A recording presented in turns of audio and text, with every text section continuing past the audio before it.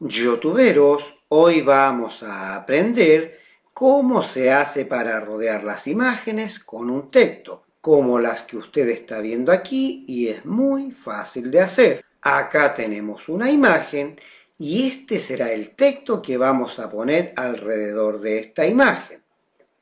Ahora abramos Photoshop y después arrastramos la imagen dentro del programa. No le tema a Photoshop ya que es muy fácil de usar.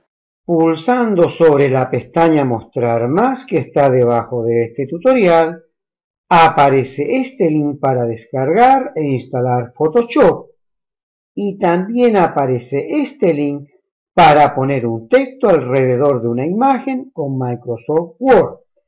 Y también aparecen otros links de videotutoriales sobre Photoshop.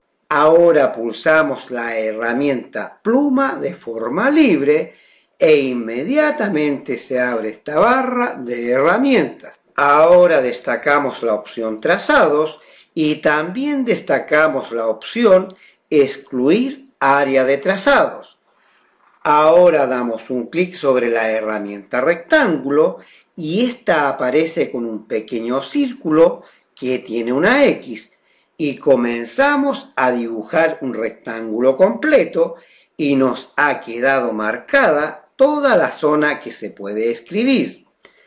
Ahora, para no escribir sobre la imagen, pulsamos la herramienta pluma de forma libre y vamos destacando el contorno de la imagen y soltamos.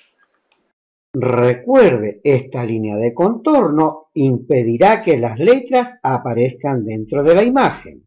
Ahora lo que tenemos que hacer es copiar el texto que vamos a poner dentro de la imagen. El cursor lo ponemos aquí y pegamos el texto y el escrito aparece dentro del área que se puede escribir y la imagen aparece rodeada por un texto. Como usted puede ver, es muy fácil de rodear las imágenes con un texto si usted sigue paso a paso este tutorial.